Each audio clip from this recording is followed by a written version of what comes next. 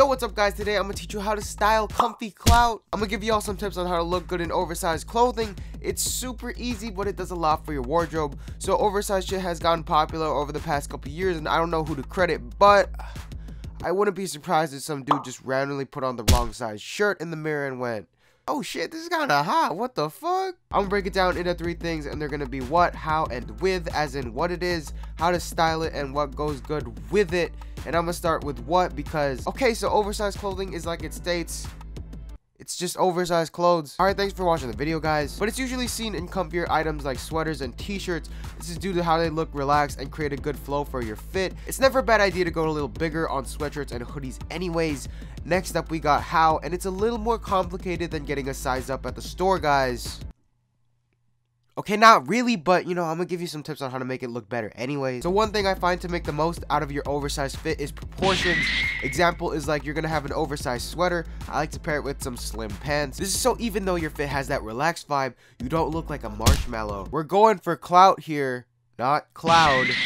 But in a way, the slimness of the bottoms kind of evens out the oversizedness of the top. Also, rolling or cuffing your sleeves keeps your fit proportionate as well. This is so your arms are visible to even out the oversizedness of the top. I also do this to show off my uh, Hashtag ad. Daniel Wellington watch, which has helped me pull respect a lot of women. You definitely need these watches if you want to up your pull game. Here's video proof. Babe, how'd I pull you? Because you respect women? Well, that's a given. What else? Because of your cool watch?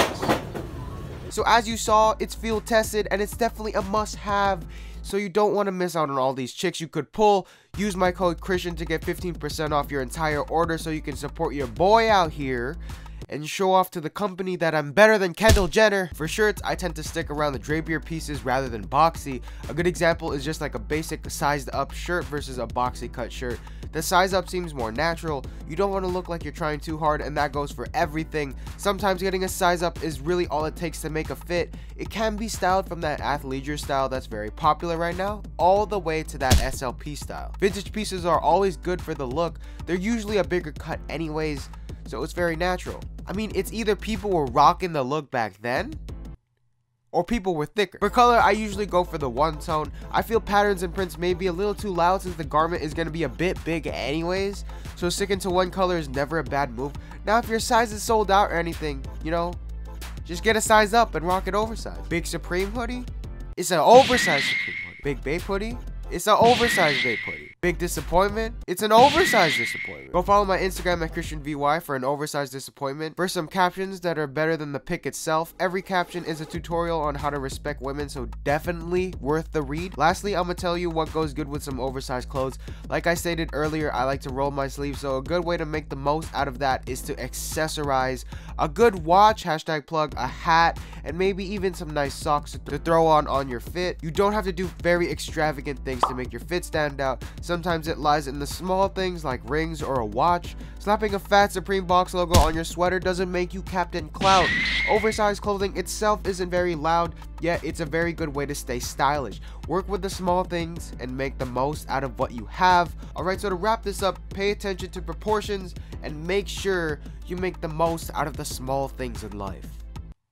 I mean, accessorize, what am I doing? Okay, thanks for watching the video, guys, and hopefully you find the tips useful. Again, special thanks to Daniel Wellington for supporting your boy in the move to respect women just in time for the holidays, and the watches make great gifts for anyone looking to collect clout. Use my code Christian to get 15% off and support your boy. DM me your order receipts. You don't want to miss out on this deal. Follow my Instagram at ChristianVui and tweet at me at ChristianVuiYT. Email me at frugalaesthetic at gmail.com for anything. And yeah, guys, happy holidays. Stay lit, respect women. But most importantly, I met Emily Oberg.